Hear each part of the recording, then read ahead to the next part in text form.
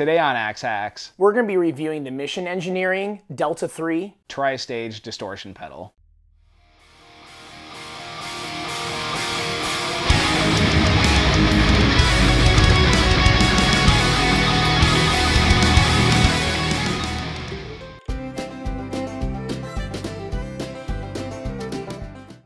So I've got the Mission Engineering pedal in my hands right now, and this thing looks fabulous. Um, the first thing I notice about the pedal is it's got, it's got a brushed aluminum case to it, and it's really smooth. All the sides look uh, good, nothing is sharp.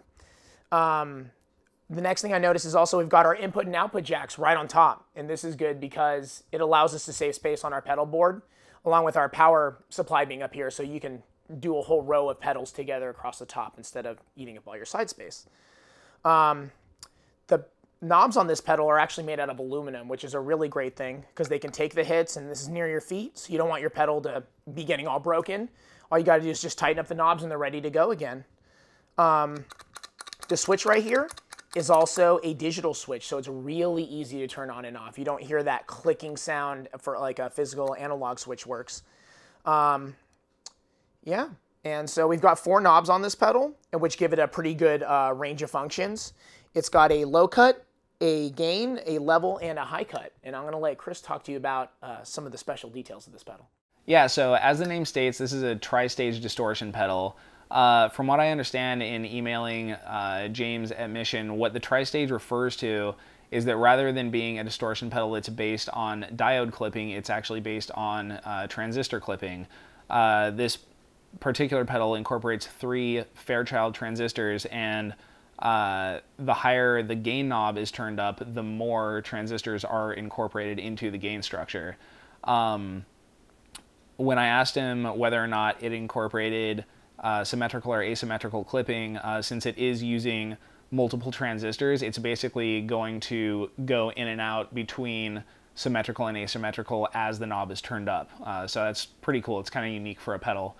Um, beyond that, the low cut um, kind of acts, it acts as a low cut from the zero to noon positions, and then beyond that, it sort of acts as a bass boost, which is sort of cool.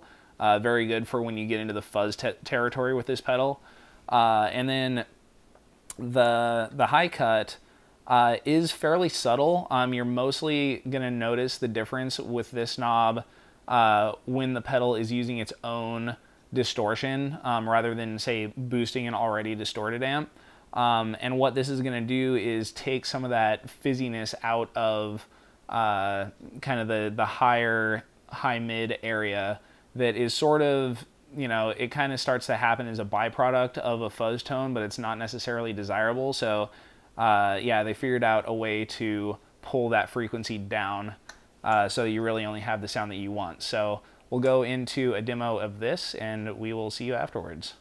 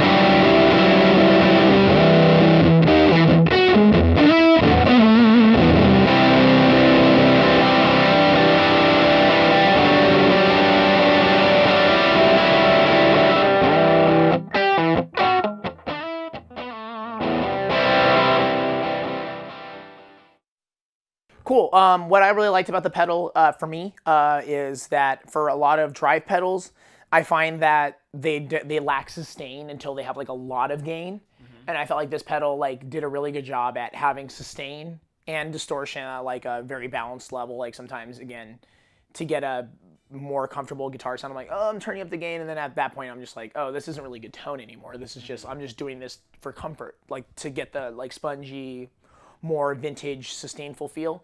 So I think it does a really good job on that. And I really like how when you're turning the gain knob up, like you're kind of hearing the character of the distortion starting to change. Like it goes from like almost like a very smooth focus kind of sound, and as you get higher, you're like, how is it starting to just get uncontrollable and almost kind of like irregular, like very like loud amp in the room, can't really control it 100% fuzzy. So that's cool. And I think that um, it has a good overlap between a fuzz pedal and, and an overdrive pedal. Like there's an overlap that like you could kind of get both out of this one pedal in the studio, especially. For sure. Yeah. Um, basically, all the tones that uh, we went through just now, um, they were kind of the four presets uh, that Mission includes with uh, the little instruction manual that comes with the pedal. And then after that, I just sort of went through the range of each control and uh, also kind of dialed in the sweet spot of the pedal, which uh, is, I wouldn't say that it's like an over the top fuzz. It's kind of in between a, a good articulate distortion and a, a fuzz pedal. And also, um, everything that you heard was being sent through a Kemper profiling amp uh, on a Fender Deluxe, Fender Deluxe profile. Uh, so naturally, a very uh, clean, very neutral amp. All the distortion you heard was coming from uh, the Delta 3 itself. So yeah, that's the Delta 3. For more info on this, check out missionengineering.com. And you've been watching Axe Hacks. We'll see you next time.